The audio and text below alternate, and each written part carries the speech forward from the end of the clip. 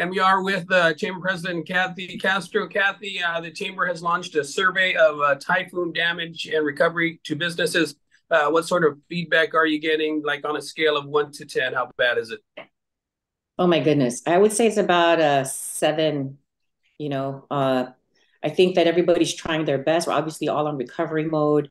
There is extensive damage, but uh, you know, businesses are trying their best to you know be supportive of employees, to be supportive of the uh, the community. So they're trying to uh, be open, even if they're limited hours. Uh, so yeah, so at, from the from the results of the survey, there are uh, folks that um, have reduced hours. Uh, very few are laying off employees, uh, but they're doing their best to remain open. Yeah. Uh, we understand that the SBA has uh, set up shop over at the FHB building in uh, Maite, and uh, we, under, we also understand that there are a, a pretty good turnout of uh, businesses seeking help. Yes, that's correct. I know that um, you know th the last report I heard was that there's about um, uh, you know a couple thousand folks, individuals. I'm not sure how many um, businesses, but for sure, based on the survey that we took, there are a, a number of uh, businesses that are going to seek uh, uh, uh, assistance from uh, SBA and from FEMA due to the storm, for sure.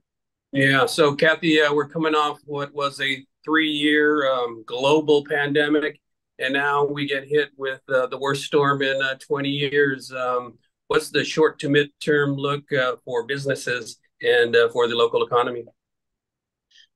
It's it's it's a it's a recovery. It's going to be a long recovery. We already saw that you know uh, coming out of the pandemic, we were looking maybe at the end of 2024, um, and it's probably going to uh, you know be extended out just a little bit more. I think. I think you know the the hotels have also you know there's damage and total infrastructure damage uh, uh, island wide. So the government has infrastructure damage um, our businesses, the hotel, the tourism industry.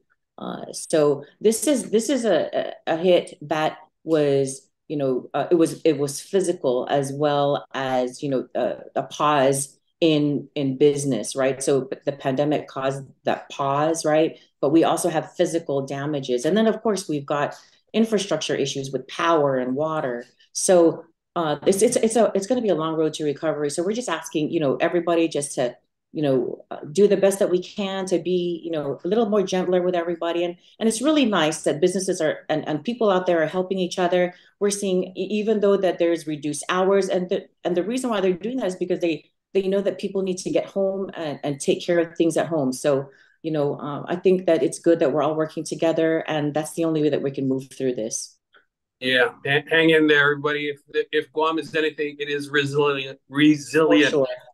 Kathy Castro, Chamber President, thanks for joining us. We'll back Thank to you guys you. in the studio.